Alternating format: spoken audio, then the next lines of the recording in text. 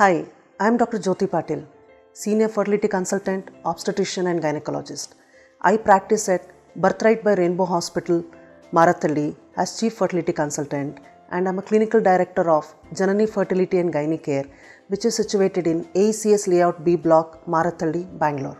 Today I will be speaking about when should the couple go for IVF. So before that I want to brief you about what is an IVF, what exactly we do in an IVF. See, basically, IVF is called as in vitro fertilization. In vitro meaning which we are doing it outside the body, wherein we are going to combine the husband's sperm and the woman's egg. If we imagine as there is one egg and there is one sperm, we are going to put this sperm into the egg hmm, and make it fertilize. Once it becomes fertilized, it becomes an embryo.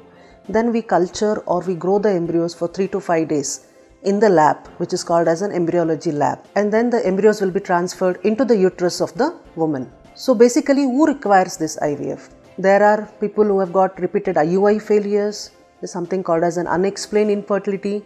Unexplained infertility meaning all the reports are normal, in spite of that the couple is not able to become pregnant. Endometriosis which is nothing but the lining of the uterus what we call as endometrium which is present outside the uterus which is a very painful condition. Whenever there is periods, the patient will have a lot of pain abdomen.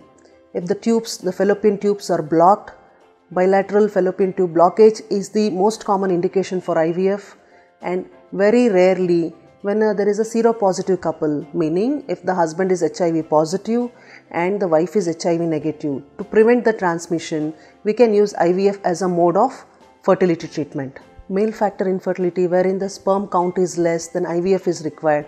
There are certain genetic conditions wherein we need to know whether the child is going to get affected with certain autoimmune diseases wherein we are going to create the embryo, take the cells of the embryo and send it for testing. That is called as PGS, pre-implantation genetic screening or pre-implantation genetic diagnosis, PGD, uh, which is also an indication for doing an IVF. So I'll be telling in detail about how an IVF is done. So basically, from the period second or third day, we do a baseline scan to look for the number of follicles in the ovary. Then we start on injections. There will be injections for 10 to 12 days. These injections are basically given to improve the and increase the size of the follicle.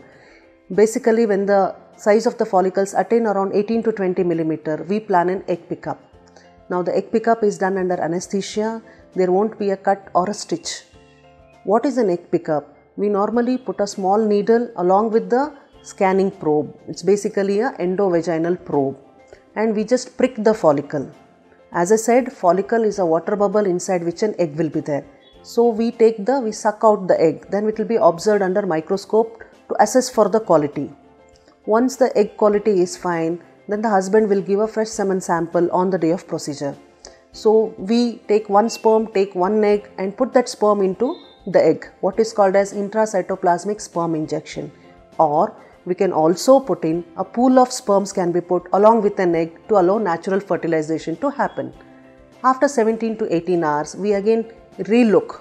We take the dish under microscope and see like whether it is fertilized or not. The fertilized egg is called as an embryo.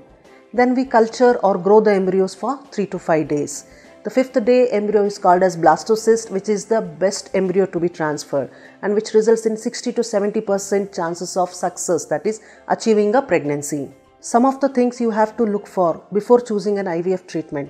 The first thing is the IVF clinic, the success rate of the IVF clinic, the clinician, his or her expertise in doing an IVF procedure, how many egg pickups, how many embryo transfers, what is the success rate, the competent whether there are any competent embryologists around, all these have to be taken care before you start an IVF procedure, wherein we handhold you from the time of initial consultation, the scanning, the injections, the egg pickup, embryo transfer, everything will be explained in a very detailed way. We also consider IVF treatment individualized, that is, personalized care is given at Janani Fertility. Thank you.